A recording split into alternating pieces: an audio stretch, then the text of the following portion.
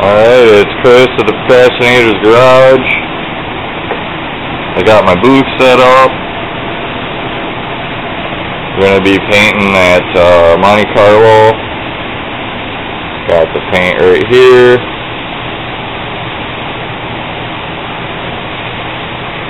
Medium red, Monterey maroon. So we'll see how it goes. Uh, it's just the shop line. Got my other stuff ready over here, reducer, and uh, this is the clear coat I'm using. Just the Auto Body Master from, Auto Value. Uh, from Auto Value, I'm mumbling. Um, so, go through here, got the hose all wiped down. Um, that's what I have for oil water separator goes in from the compressor over on the other side and uh, goes into the black holes, comes out the red holes, into my reel and uh, got the wax and grease remover ready. My rubber gloves and uh, this is the first spot. Oop. um you know I'm just gonna spray some you know base out this way just a little bit, you know, from the bottom up, and uh, and then clear it. And I'll just, you know, stuff it. It's just a beater car, you know. I just practice. It's a little practice, and then uh, we got the bumper cover.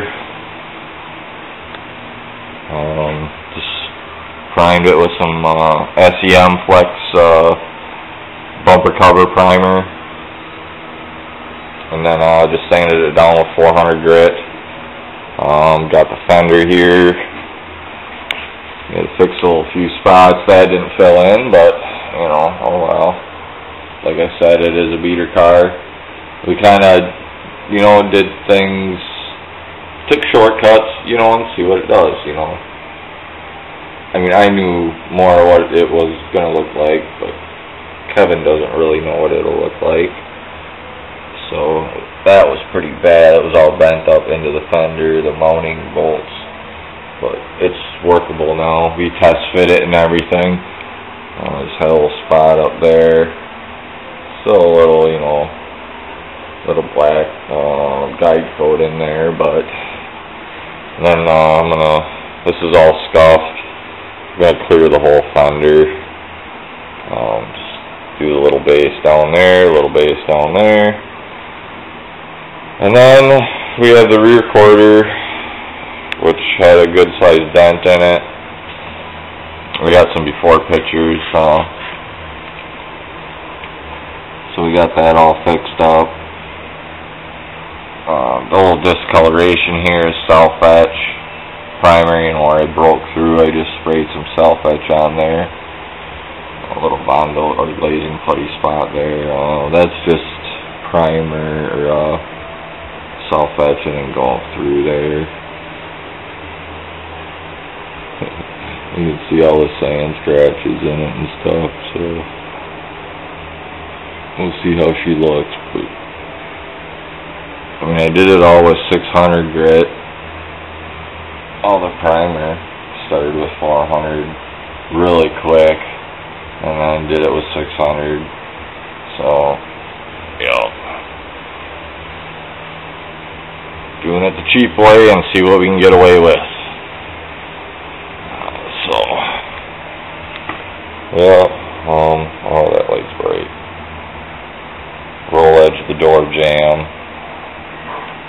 So, uh, yeah, um, this light, only one light works, oops, sorry, and got these box fans set up uh, to blow out um, built this frame up last night. We'll open up the garage door to the height of the fans, and uh, that should work. You know, these other pieces, these wood, you know, the wood spots there will block crap from coming in. I mean, there'll be a little opening there, but we should be okay.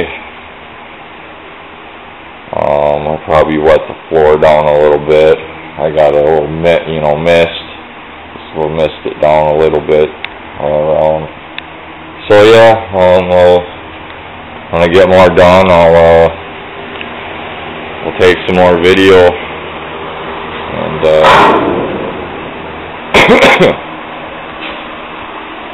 yeah, wish me luck. This is just a little clip of the rim. It's actually busted off of that, uh, Malibu. A new room costs, what, twenty-five bucks? Thirty-five and a five dollar core charge if you did bring it back, but you could get it for fifteen dollars if you recycle it Oh, for